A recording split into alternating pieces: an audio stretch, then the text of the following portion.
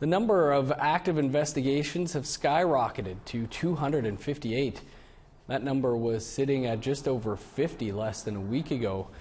On their Facebook page, Siksika health officials say there are currently nine active cases and nearly 90 individuals or households in isolation.